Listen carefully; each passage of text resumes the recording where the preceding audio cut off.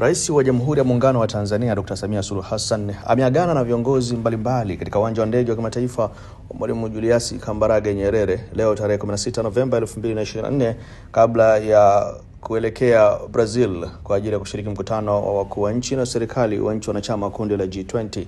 Rais Dr. Samia Suluhu Hassan amealikwa na Rais wa Brazil Luiz da Silva ambapo pamoja na mambo mengine atashiriki mijadala inayolenga kuimarisha ushirikiano wa kimataifa katika mapambano dhidi ya njano na umasikini, kuchochea maendeleo endelevu pamoja na matumizi ya nishati mbadala. Kwa hiyo rais ameondoka leo nchini Tanzania kuelekea Brazil, na hii ni mara ya kwanza kwa Tanzania kuhudhuria katika mkutano wa G20, ambapo Ikulu imesema mwaliko huu unatokana na heshima na ushawishi mkubwa ambao Rais Dr. Samia Suluhu Hassan amejijengea kwenye majukwaa ya kimataifa, ambapo pamoja na mambo mengine katika mkutano huo Rais Dr. Samia Suluhu Hassan anatarajia kushiriki mijadala inayolenga kuimarisha ushirikiano wa kimataifa katika mapambano dhidi ya njaa na umasikini, lakini pia kuchochea maendeleo endelevu na matumizi ya nishati mbadala.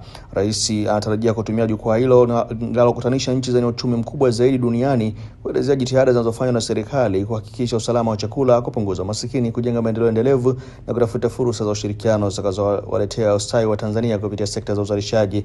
Akiwa nchini Brazil, Rais Dr. Samia Suluhu Hassan atafanya pia mikutano ya pembezoni na taasisi kubwa za kifedha duniani pamoja na kukutana kwa mazungumzo na wakuu wa nchi na serikali pamoja na baadhi ya nchi wanachama wa G20 akiwemo mwenyeji wake Brazil.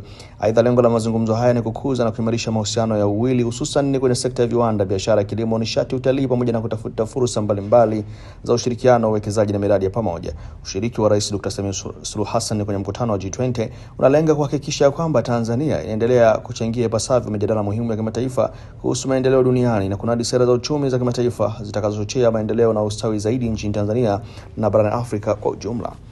Mimi ni Bakari Chijumba.